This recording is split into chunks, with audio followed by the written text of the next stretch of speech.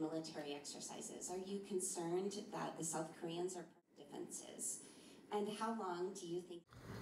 Uh, Kim, the uh, closing of guard posts is a good example of a tension reducing measure that can also help to build some degree of, of trust. There is risk involved in it. Uh, the military demarcation line, as it is, has prevented the resumption of hostilities.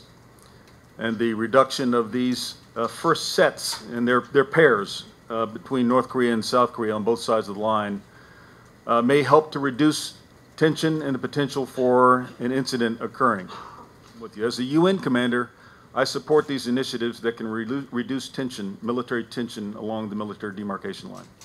As the Combined Forces commander responsible for defending the Republic of Korea, I have some concerns about what that means militarily to the ability to defend along the military demarcation line and in depth beyond it.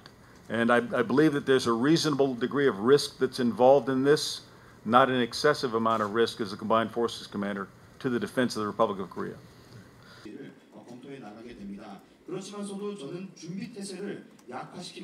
The postponement of the Ulchi Freedom Guardian exercise, the one that would normally be ongoing right about now, uh, was intended with that purpose in mind. It's very clear that that was to create some room for traction uh, to occur uh, at the immediate following of the Singapore summit.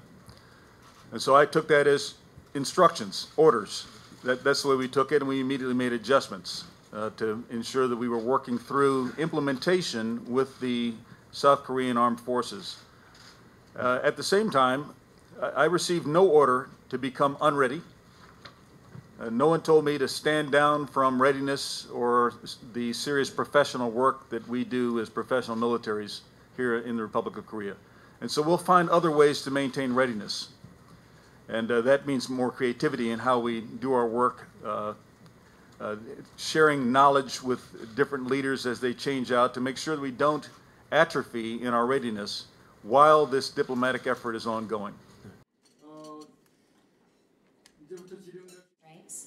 Um, General, the South Korean defense minister just I do think that it was one effective step in building trust where that which had been committed to was fulfilled through action. It was delivered.